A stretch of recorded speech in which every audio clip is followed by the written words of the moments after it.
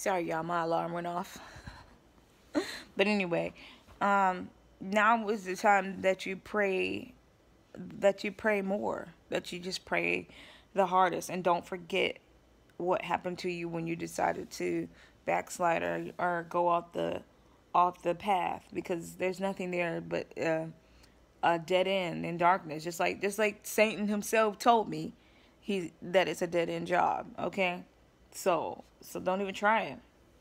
What you're gonna do is sit here and you're gonna wait for these people to contact you and whatever they tell you you're gonna you're gonna go from there. You're gonna take it day by day because you never know when god is gonna come and snatch his people out of here. You never know when the bombs are gonna start flying. You do not know. And what you do know is that you don't want to be you don't want to be in some place where you're not supposed to be when it happens. So beep Uh, this is only a test. I'm being tested today and, and I'm gonna do my best to pass. Because my bills are paid. Well my phone bill's not but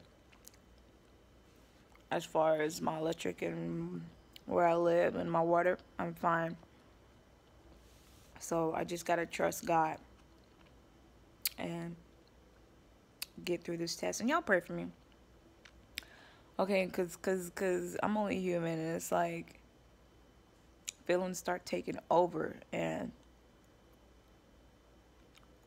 you can tell that I'm weak right now and that's what that's when that's when Satan pounces on you. Okay, it's just like this is like when you watch a Discovery Channel and there's a bunch of antelopes running and the one that's the weakest and the slowest, all the little lions behind them, that's the one that they're gonna eat because because that one is weak. So don't think that I'm strong all the time. I do get weak, but but I don't want to get pounced on and and um I don't want my flesh to be ripped from piece to piece.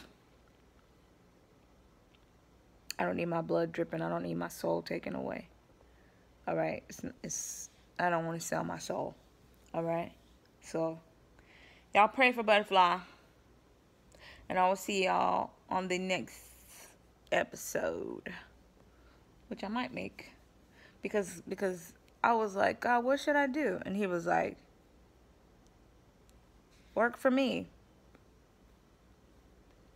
fight for righteousness. That's what he said. He said, work for me. Fight for righteousness. So that's what I'm here doing. All right. I will see y'all on the next episode of the Butterfly Show. Bye, babies. Pass these tests out here, okay? It's all spiritual. Remember that. All right. This is an example right here that I'm I'm showing y'all. All right, of the spiritual battle. Okay? Love y'all babies. Bye.